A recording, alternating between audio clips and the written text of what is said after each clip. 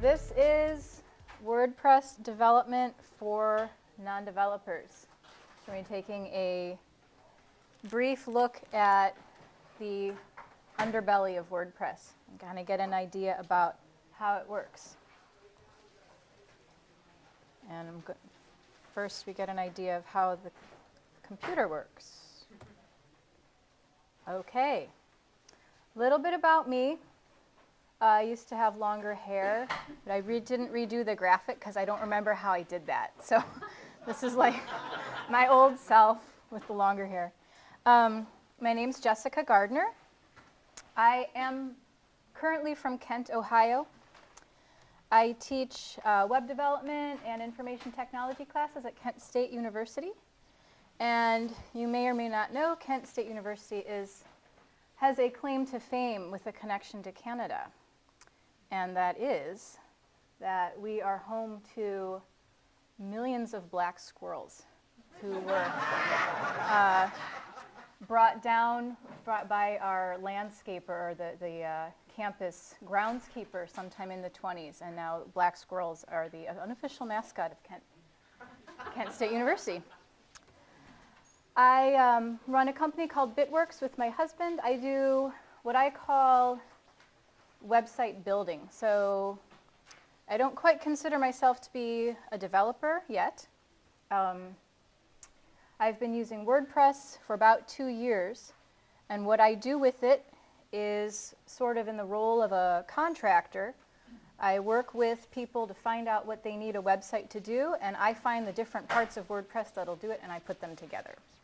So I'm kind of like the middleman, and that's one of the things I really love about WordPress is that I have not yet been unable to solve a problem or make a website solution using WordPress because of all of the amazing development that happens um, in the community.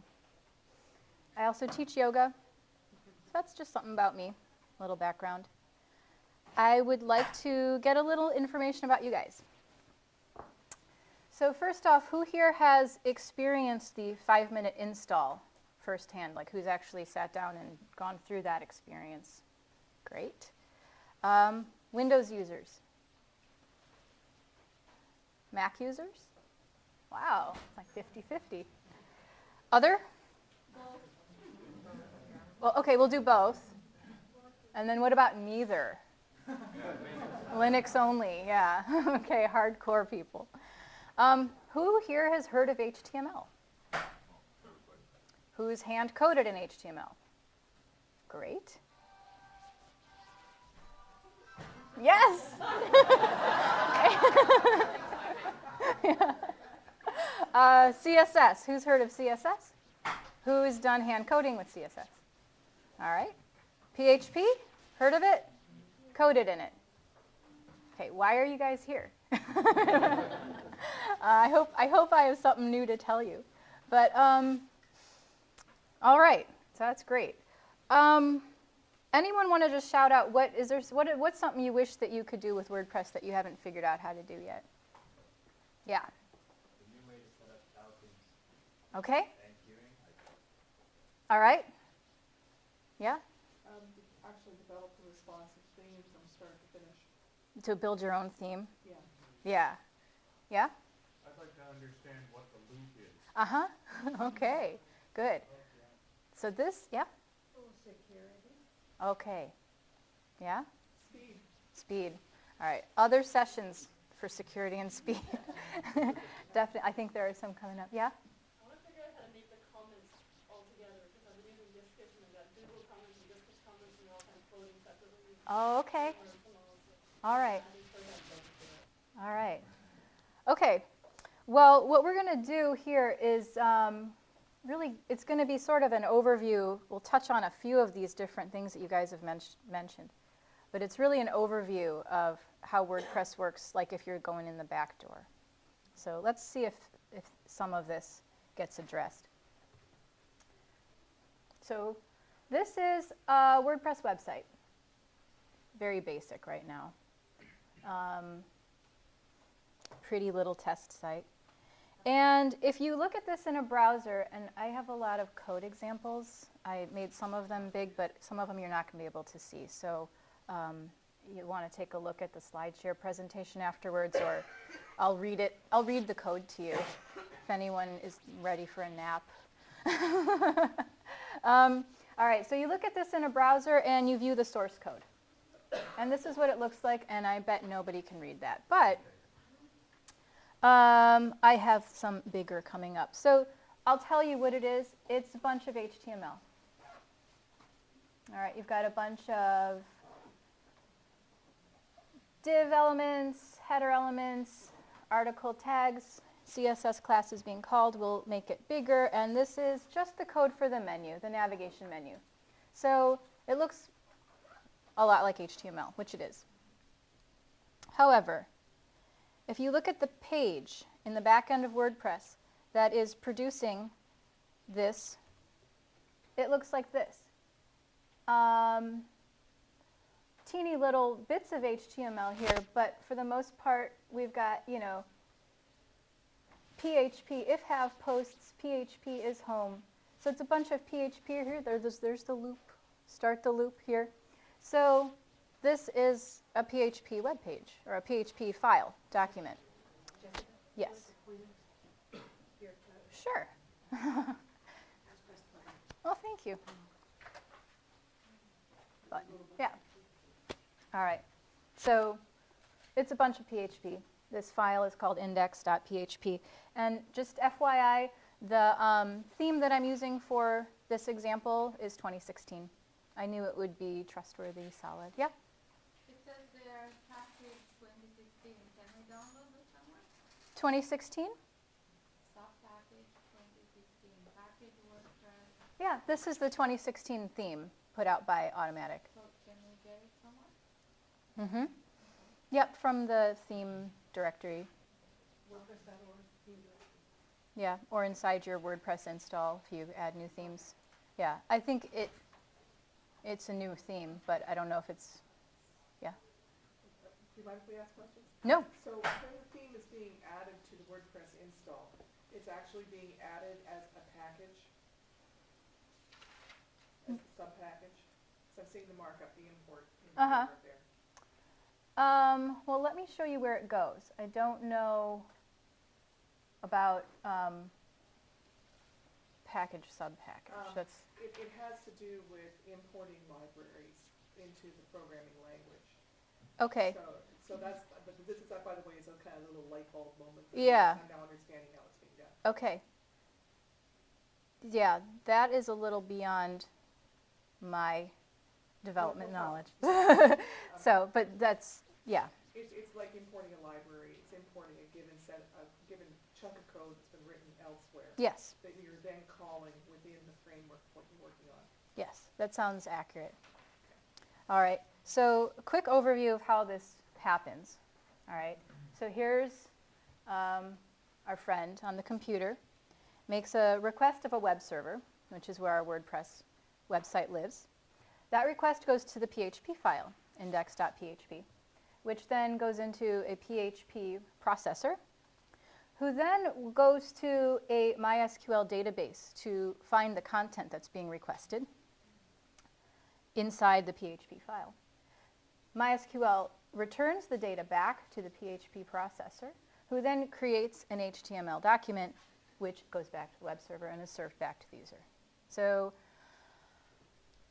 this is, this is a process that we call um, dynamically created web pages, right? So when you make a request of a WordPress website, you're not getting a file that already exists. You're getting a file that's generated based on the query that you've just made. And that's what we mean when we say dynamic web page. Um, I'm sure you all know this, but just a side-by-side example, this is a pure HTML file. This is what happens when you apply CSS, right? So um, our web pages are made up of HTML plus CSS to add styling, and then uh, PHP is what dynamically creates the content that is spit out through, that spits out the HTML and the CSS. All right, so let's go back to the example page and look at how this page gets created by this index.php page. And again, you can't really see because it's too small, but I'm going to tell you, I'm going to give you some hints. So up here at the top, we see something that says get header. All right, so just remember that. And then here's something that says start the loop. So this code here is what's known as the loop. And then down here at the very bottom, which I'm sure you can't see, it says get sidebar and it says get footer. So just remember, put those in the back of your head. So going back to our page, this area at the top is one file. This area here is another file. This here is another, and then there's a, a, fourth at the bottom that I didn't highlight for this example. But this, all of this code right here that's generated is caused by a file called header.php. Everything that happens here in the side is coming from sidebar.php. And this section here is generated by the loop. All right, so we're going to take a look at what it looks like on the web server when you install WordPress. Oh, and this, the, the, the, these three elements create index.php. All right, so when I install WordPress on my web server and I go look at it through my FTP client or through cPanel, this is what I see. This is WordPress, like from the back, from the file structure. Of this whole list of things, if you're going to try your hand at altering, developing, editing, unless you know what you're doing and you want to get into some deep, dark development, you should not touch anything in this list except the contents of WP content, h.htaccess, index.php, and wp-config.php. Everything else is the WordPress core, and there, unless you're doing something really special or something that you want to do or know what you're doing with, there's no reason to go in and mess around with the core. All right. So um, the, the, the place where you're going to be doing the most work, if you're getting into development, is going to be WP content. Here's what's inside that folder. Our plugins, our themes, your um, files you upload, your media files, and then um, I've never gone into upgrade folder, so I don't think there's anything in there that applies to this talk anyway. All right, so we're going to focus on what's inside a theme folder. So if we go from themes into your list of themes, this is the um, contents of the 2016 theme folder. So you see we have a CSS folder and a bunch of PHP files. So you can see, or I will tell you because it's probably too small to see, but you can, there is header.php, footer.php, index.php. And uh, this was an example of what WP config looks like, just to give you kind of an overview of what's in there. Um, the only occasion I've had so far to touch it is um, if you want to turn on debugging. So if you're working if you're working in a development mode and you want to get your error messages instead of the white screen of death, um, you can turn debugging on by just changing this to true and then saving the file back up. If you are manually moving a site and you need to replace like your database password or something, that would happen in WP config. But for the most part, um, I haven't had a lot of need to edit that file. So this probably looks familiar. This is the backend dashboard. Under Appearance, if you go to Editor, here are all of your theme files. The first, I'll tell you like a dirty secret. The first time I found these. This is my second WordPress installation. I was trying to, I was using a, you know, a, a pre-made premium theme, and I was trying to figure out how to change the color of some icon, and I discovered these files. I was like, oh, oh, I'm get. That's where the CSS is. I get it now. And I went in and I edited the CSS. Okay, don't do that. Um, I didn't break anything. Nothing bad happened. But it is. It is at the very best. It's not the best practice for editing theme files, and I'll tell you what that is. Um, but but you can. I mean, all of your files are here. You could go in and delete style.css, click save, and it would be gone. So this is live and a dangerous and um, you know, I don't even think it asks you like, are you sure you want to do this? You just click update and it's like, all right. So this is here, um, but it's a dangerous place to be. But it's where you can look at all of these template files without having to go into the back end of your web server. I'm going to go over what a few of these files do, not all of them. Um, side note, good themes include lots of documentation. If you look at 2016 through the template files, through the PHP files, it tells you what's happening at each turn. So um, comments are great. If you ever build a theme, think about including comments for yourself, if not for other people who might use it in the future. Yes. Before we go any further, Mhm. um, in the content folder under themes, there's the theme files, um, that's where, is that what the plugin files are as well, as well, right? In WP content? Con- yeah, Mhm. Um, which file controls the widgets? Any idea? Which file controls Yeah, the widgets don't have a separate file. the widgets? Probably very, Aren't widgets just plugins? No. no. no. Widgets are dynamically created content that are placed in sidebar, the sidebar areas. So sidebar.php is what's going to query the database for the contents of your widgets. And functions.php, that we're going to talk about briefly, determines where your widgets can happen. So functions.php is a theme file that includes, um, it, it, functions.php actually acts like a little plugin itself. So it contains things like uh, where widget areas are in your theme. It can customize the admin panel. It can customize excerpt length. So um, it basically adds functionality to your theme. So it's a good place to start poking around if you want to experiment with development. And I'll just tell you my personal opinion, the best way to learn how to develop is to look at other people's work and then figure out what they're doing and maybe tweak something, you know. Um,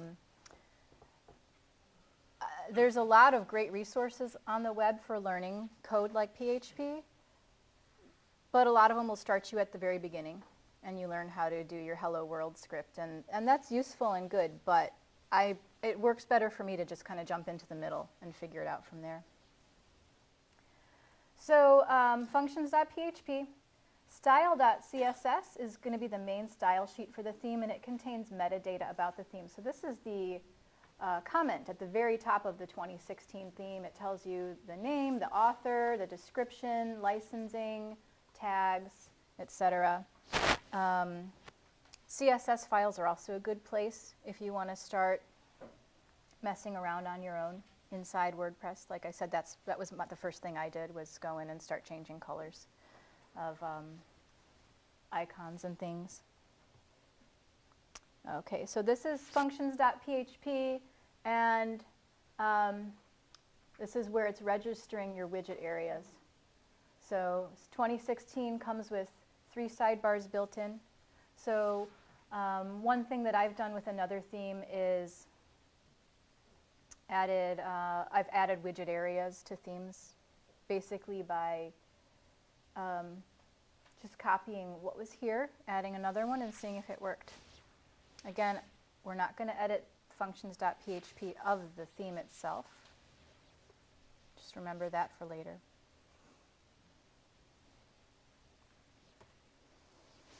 All right, next, there is usually a file along with your themes and your plugins and uh, other packages that you download called readme.txt. If a theme or a plugin is well developed and well built, it will have a nice informative readme.txt, so go ahead and read it. Um, next, index.php in this theme is the generic template file. So along with style.css, that's the only required file to make a theme. So in order, if you're going to build a theme from scratch, the two themes, the, the two files that you absolutely have to have are index.php and style.css. Style dot CSS. This is what we're saying with HTML, like have several index PHP files in that sort of tree, going from content down into theme. Does it go as deep as it can and, uh, it is the sort of deepest or lowest index PHP which supersedes any subsequent higher PHP? Did you follow what I asked? Not quite. Okay, So when you did the tree originally in terms of what files are contented within what uh, subdirectory, hmm in the uh, WP content Mm, directory, you yeah. had an index PHP. Then when you go into uh, contents dir- subdirectory, Uh-huh. there was an index PHP. And then Right. you go into themes, there's an index PHP. Those are, so this is an interesting point that if, when I tell you it's going to seem very basic, um, but when I had it, it was kind of like, whoa. All of your WordPress installation is a website, right? The back end, the dashboard are web pages. They're forms where you're putting in data. You have index pages for parts of the, other parts of the site too. So you have an index page for your dashboard. You have an index page for your plugin section. Does that make sense? So there's multiple index pages that cascade down a, a selection tree. Um, I don't, No, that's not what No, she's saying, that's exactly the opposite. That's what I thought, because that's an, an HTML thing, but it's not. It's, it's actually quite different structurally. But, but what happens is, is in the root directory is index PHP, which you're talking about. Mhm. That starts it all off. And that then calls the other index Right. PHPs as required. Okay. So it's, it's the first one at the root directory, that's the most important one to get rolling, so to speak. well, this, uh, so this index.php is the index page, the home page for your website. That's right, The dashboard has a home page, that's right. and it's in a different location. It's in a different folder, and the way it's brought up is, is different. So, But but you'll see that if you go to WordPress site, you'll go and see uh, uh, three uh, subdirectories, WP content, WP admin, and Mhm. WP um, includes. mhm, Those all have index.php files scattered among them. mhm, But the index.php file that's immediately below in the core directory is the one that starts the whole ballgame. yes, That's all I, yeah. That's the one that a user is going to see when they that's go right. to the root of your web directory. That's right. When Right. they, they uh, uh, initialize your site, that's the file that starts the sh- the show. Yeah, The one they're gonna see is the one that's be- embedded, it's at the lowest end, it's at the leaf, it's not the, at the top, it's at the bottom, it's at the leaf, No, in No, your that's theme. not- that's a rule. well, It has to be in the themes, isn't it? no, no, it's at the top, and it calls the other one. Uh, uh, If, you- uh, hmm, I can't do it here. Uh, if- Like, for example, on my, uh, I- I'm looking at a- a a- a WordPress theme right now. mhm, And if I do control U, I can see uh, the uh, index file, and it's very simple. mhm, And it's, but all it does is require, uh, uh, which means it loads up, uh, a series of PHP files that will start the whole uh, process. And that's right at, uh, uh, in this case, it's the open sorcery, and uh, uh, it- right underneath the open sorcery, the first file is index.php that gets called by, uh, by WordPress and by the uh, browser. mhm. And that starts off the whole process. See, I think what happens is inside the theme folder is index.php. But when you look in the root of your web folder, you're going to see index.php. And those are the same. I think that, well, not, so in, so this, in the one that's inside the theme folder only gets called if there's not another query Okay, being called. so as long as, if I didn't install a theme and I went to that uh, URL, the index.php that, that is in WP content or above is what's going to get called? I, I don't know that. Yes, you said it right. Okay, Above WP content in the, uh, at, in my case, the opensourcery.com, uh, that it has WP content and so forth. But the, the index PHP that's at, uh, the opensourcery.com, not WP content, uh, or, uh, but above that is the one that starts the whole ballgame. Let's, let's, yeah. I'll get to that next. Yeah, let's, let's come back to this index.php, index.php, index.php question at the end if there's time, but I, let's uh, move forward. So the loop um, is contained in this case, so this isn't, um, what I'm saying about this, this is specific to 2016. This isn't going to happen in every single theme. In 2016, in index.php contains code which is called the loop. All right, and the loop is PHP code that displays your posts. All right, so um, it, we notice here, so it says, because it's well commented, start the loop, and then it says if there are posts, display the posts, and then it uses a template file called content to tell WordPress what parts of the posts to display. Sometimes that will actually be in the loop code, but this loop uses, pulls in, um,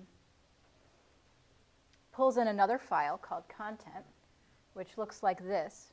And again, I'm sure you probably can't read this, but um, I'll tell you what it has here. It says it has information about if the post is sticky to do something to it, tells it to display the excerpt, to bring in the thumbnail, bring in the content, um, what to put before and after it, and um, information like that. So that's where the actual content of your page is being pulled from. In this case, is from template parts content.php, which the loop is then calling up. Okay, so we're going to do a quick little treasure hunt and figure out how the navigation menu is being displayed. All right, so this is header.php. Um, we know that the navigation menu is part of the header. So we're going to look at header.php and note that um, there's a section here that says uh, div ID equals site header menu. So there's a little, we're, we're seeing some CSS being called and uh, HTML, and then this section about this, this PHP code that says if there's a, a menu called primary menu to bring the menu in. All right, so what we know from looking at this is that there is some CSS element called site header menu that has something to do with how our menu is being displayed. So if we look at our CSS file, style.css, again, a very nicely well-documented CSS file, we see that there is an entire section called navigation. And that section 6.2 tells us how the menus are styled. So if we look at section 6.2, then we see, oh, here's that class called site header menu and uh, declarations for how it should be displayed. So if you wanted to change how your menu is being displayed, um, some themes will build this in in a nice front-end editor, but if you, A, don't have a theme that does that, or B, want to just try doing it on your own, um, this is where you would change your navigation colors or layout. Yep.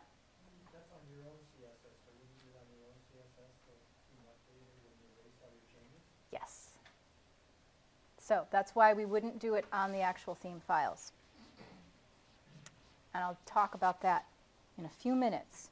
But quickly, I want to ask where the actual data comes from, where the actual content of the menus is coming from. So, as we mentioned earlier, all of our data is stored in a MySQL database. This is what your database looks like. This is all of the content of your WordPress installation. And I just want to mention an aside here uh, regarding plugins and your database. When you install a plugin, it will add data to your database. When you delete that plugin, sometimes it won't take that data with it. So, um, for example, I have uh, the, the, the, site that I'm using for this is a test site where I play around, and I had installed WooCommerce and then deleted it, and these tables are still here. So um, it can be a good practice for you with site maintenance to periodically do database cleanup. Know that um, doing something like that directly in phpMyAdmin, which is how we're accessing the database, is probably even more dangerous than messing around in the visual in the editor inside the dashboard. Like this is the content of your site, and you could easily check all and delete. Again, this is live, and there aren't. Um, they're not going to stop and ask you, "Are you sure you want to do this?" So if you're making changes in directly in the database, be very, very careful. Make sure you're. So what would you recommend if you wanted to do cleanup, how do you do it? There are plugins. Um, So, you install a plugin, you need to delete some of the stuff in the plugin, you have to install a plugin to delete the table. Yep, yep. Just like you can install, install plugins that will detect vulnerability in other plugins, or install plugins that will tell you how you much, recommend a table cleanup plugin? Okay. uh, not off the top of my head. I don't remember what it's called, but there, I've used, I've used one that works very well. I'll, you know, having a, uh, this is a, a, topic really for speeding up also, but having a bulky database can slow your site down. So, um, like things like when you when you discard a post or when you have lots and lots and lots of revisions of posts, that can beef up your database, and that's the kind of thing that a database cleanup plugin will take out. All right. So. Um, as I said before, so this is, we all have probably seen this, the post, the page where we're adding posts. So what I said earlier, this is a web page. This is a form where we're inputting content into a database. Um, so this is how the data gets added to the database, is through the backend, through the form. And this is um, the table for this post. All right. So We've got a post ID. Um, the content is actually here. It goes on if you, and here's your title. So all of the information about this is here. All right, this is a table. I just wanted to give an example of a table. This is our WP options table. So it contains, um, uh, you know, a lot of the information that you see on um, the site options page in the dashboard. So like your URL, your home page, your admin email, you know, values declaring whether things can happen. So that's just, you know, an example of what it looks like in the middle to the back end. I mean, the back, back, back end is just going to be a bunch of ones and zeros, but we're not going to get that abstract in here. Um, okay, so quick question, what reasons would we have to access the database directly? Um, one instance where I've done this is when I haven't been able to get into a website, but I could get into the database and could then create a username for myself or um, change a password. So if you get locked out of your or uh, locked out of your dashboard, that's where you can go in and update user information. All right, so what can we do knowing a little bit about how WordPress works underneath the user interface? We can add widget areas using functions.php. We can change some of the styling of the site in style.css. You can go in and change your user's password. You can create custom hooks and filters, maybe not today, maybe a little bit later. You can also delete your entire site in one fell swoop or break stuff. So, how do we do this safely? Number one, use a child theme. So a couple people have mentioned that. When you install a theme, if you make edits to the actual theme files and then that theme gets updated, all of your changes are going to be deleted. Or if you go in and you make changes to a theme and you break it, your theme is broken. If you use a child theme, I'll tell you what that is in a minute. Um, so that's one option. Another one is to duplicate your site and make run a test version of your site, either locally on your desktop. So you actually do a local installation of WordPress on your own machine, so it's not live out on the web, and you can mess around with it. And then if it works, you can transfer it up, or you can. Um, this is what I do. I don't know if it's really the best way to do it, but use a subdomain or a spare domain to just have a test site. All right, go. Go. Child themes. So child themes are themes that depend, that inherit the functionality of a theme that's designated as its parent. So any changes that you make to your child theme, a parent theme's updates will not override them. And it's really the best practice for modifying any existing theme. So what happens is you create a theme folder, and the contents of your folder are a style.css that doesn't have to have anything in it um, when you first create it, except um, information about the, th- the, the header information inside the, the CSS header that declares that this is a child of another theme. Your functions.php, which is the current best practice for loading the parent theme. So someone had mentioned using the enqueue process to pull the parent theme into the child theme. If you want your child theme to have a picture on your themes page, you can upload it and call it screenshot.png. And then any other template files that you wish to alter. So say you want to change the header so that things display differently, or um, you have a, a, you know, you're adding a widget area to the header. If you add a new header.php file to your child theme, it will override the parent theme's template file. Functions.php loads along with the parent theme's functions file. So this is what it looks like right now. Um, on one of my sites, I have a parent theme, and then the child theme just has the name. The, the convention is just to call it the name of the theme and then child.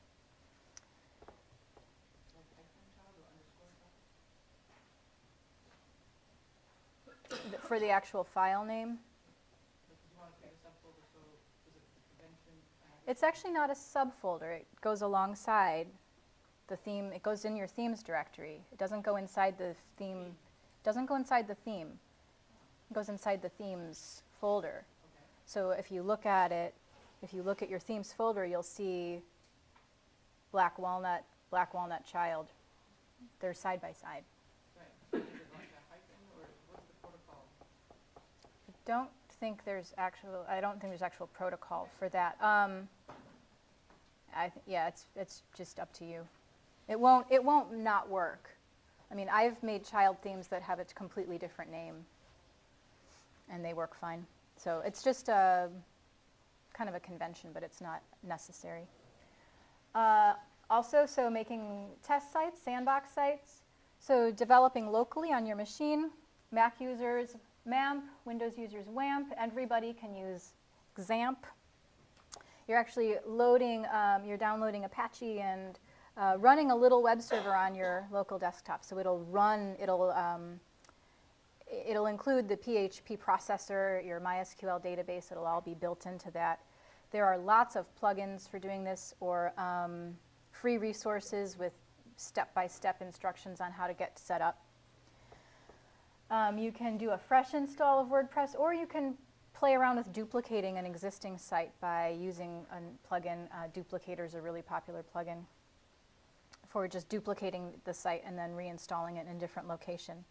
Or you can duplicate your site um, live using a test account or a subfolder, but know that if you do that, um, unless you take special precautions, people could still get to your test site if they happen to stumble across it. All right. Any questions now? Yeah. Have you worked with GitHub yet? No. Backup, uh, basically as a way to control your changes in your WordPress directory. No. Have you? Um, it's on my list of things to do. I've kind of gotten proficient with GitHub, um, and I have a couple I have been where we are moving the backup into GitHub repositories, so that we have backup copies of the structure. Yeah. Just to, to clarify with child themes, some of the, uh, uh, files you copy over and some of them you just use blank files and fill in just Um, n- you don't copy them, uh, it, it, so you would, you would copy over a- a file that you wanted to make edits to. like CSS for example. No, that, that, when you start with style.css, that would be blank. Right. Any changes you make, you would add to it. Um, and then it will, it, when, when the page loads, it'll load your style, your child style sheet first, the parent style sheet second, so it'll cascade through the different style sheets. And same with functions.php. Yes. But if you put header.php in your child theme folder, it will load that one in place of the parent theme's header file. Shouldn't it load the customizations to the style sheet second after, so that they override the, the defaults? Right, right. It loads it. Pri- I guess, Yeah, it depends on whether which, which way you're thinking when you say first or last. It's the most important. The, the it's the most important or the primary. Yes. I was reading about how to do a reach out, and before you used to just put a little ad import on. Yeah. Uh huh. Yeah, you use uh, it's an enqueue function that you enqueue E N C U U E C U U E Q U. Thank you. Q yeah. enqueue function that you put in your functions.php file. Um, if you look at the WordPress codex on child themes, it has that there, and you can just copy it and use it. difference of the older way or the newer way? Will be outdated? I'm not sure. Does anyone else know that? Um, I- it's, for some reason, the import process is, um, whatever, however the import process works, this works better. Um, and it's just what WordPress says is the best practice at this point. So, yeah like I said, I'm kind of middleman when it comes to this to, to coding. So I do a lot of like, okay, we do this because this is what we do, but I don't necessarily get in get down into the. Someday I will, but yeah. They are, they're not gonna depreciate that, that function at all. What? They're not gonna depreciate that function, right? Not right now. yeah. Was this helpful for people? Like, did you did you learn something you didn't already know? Okay. Yes,